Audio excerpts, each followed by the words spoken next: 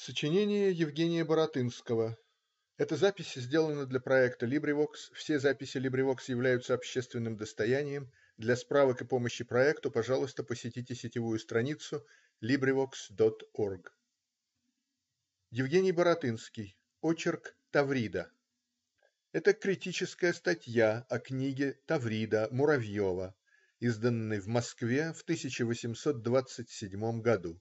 148 страниц. Полезна критика строгая, а не едкая. Тот не любит искусства, кто разбирает произведение с эпиграмматическим остроумием. Более или менее отзываясь недоброжелательством, оно заставляет подозревать критика в пристрастии и удаляет его от настоящей его цели уверить читателя в справедливости своего мнения. Еще замечу, что, разбирая сочинение не одной публике, но и автору Разумеется, ежели он имеет дарование, нужно показать его недостатки, а этого никогда не достигнешь, ежели будешь расточать более насмешки, нежели доказательства, более будешь стараться пристыдить, нежели убедить сочинителя.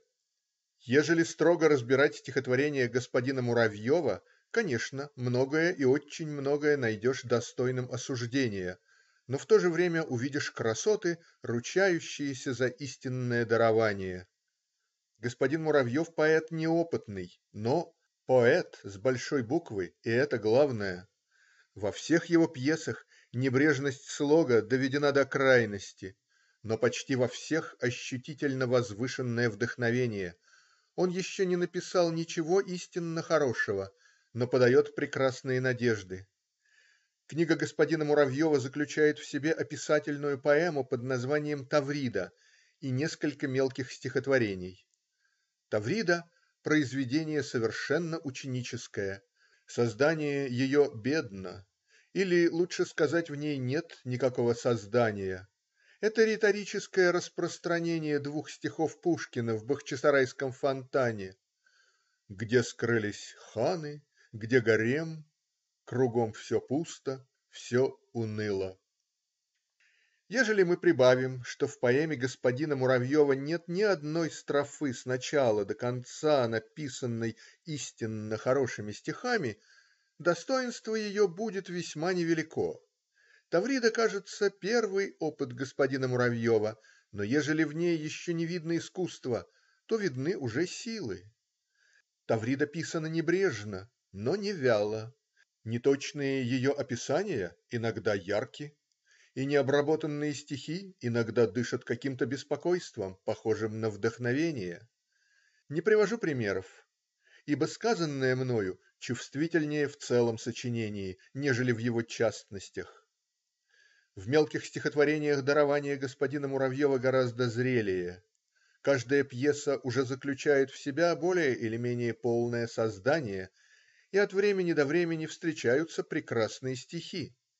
Приведем отрывок из стихотворения "Ермак", которое одно из хороших в разбираемой нами книге. Остяк рассказывает путнику о завоевании Сибири, по темным преданиям, сохранившимся в его племени. Вот видишь, путник, много, много прошло холодных бурных зим с тех пор, как бранною тревогой Иртыш великий был грозим. Отколь? Зачем? Я не открою, Но бурной вьюгой притекли Сюда, к убийственному бою, Другого племя остяки. Они друг друга убивали, Везде лишь кровь текла одна, Снега с полей уж не смывали Войны багрового пятна.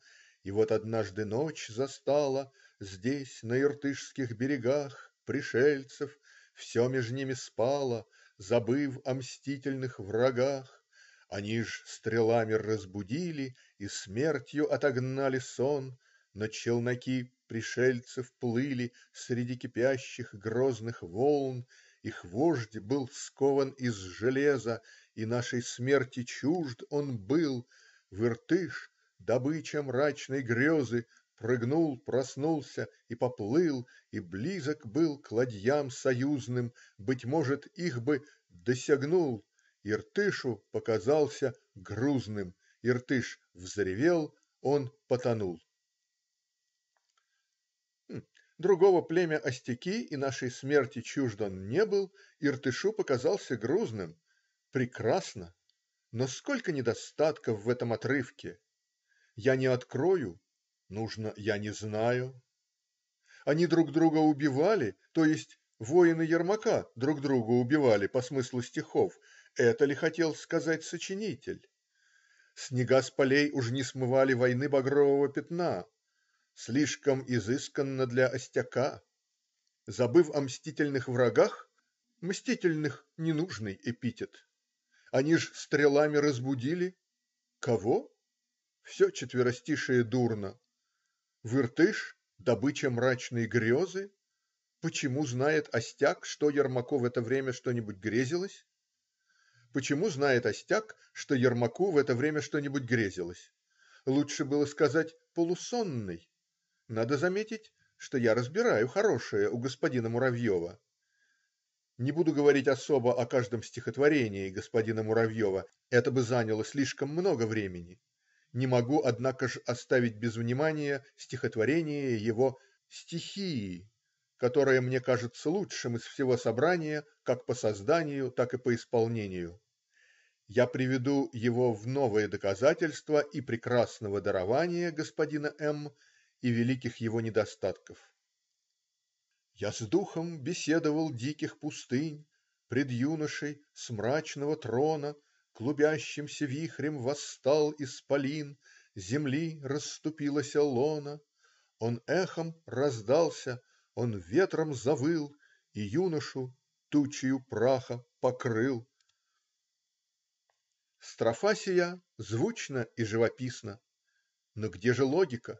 К чему "земли расступилася лона"? Господин Муравьев изобразил уже своего духа, восставшего с мрачного трона. Следовательно, трон этот ему видим. Следовательно, он не в глубине земли, а ежели не так, то прежде, нежели явится дух, земля должна расступиться. Сколько несообразностей! Последние два стиха прекрасны. Я с духом беседовал бурных валов, Завыли широкие волны, Он с пиршества шел поглощенных судов, Утопших отчаяньем полный, И много о тайнах бездонных ревел, И юноша пеной его поседел. Завыли широкие волны. Вставка.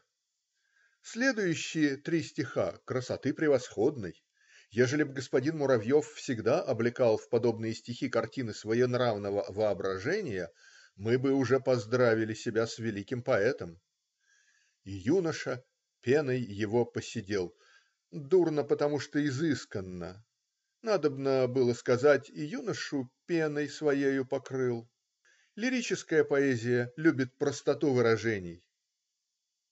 Я с духом беседовал горных зыбей, С лазурным владыкой эфира, И он, улыбаясь во звуке речей, Открыл мне все прелести мира. Меня облаками, смеясь, одевал, И юноша свежесть эфира вдыхал.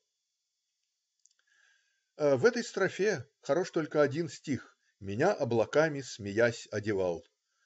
Что такое значит: в звуке речей открыл что такое значит: в звуке речей открыть все прелести мира? Прочтите кому угодно эти два стиха, каждый будет их толковать по-своему, и, может быть, никто не угадает настоящей мысли автора.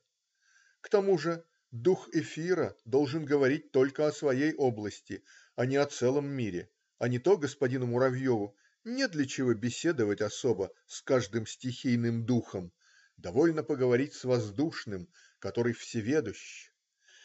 Я с духом беседовал вечных огней, Гул дальнего грома раздался, Не мог усидеть он на туче своей, Палящий клубами свивался.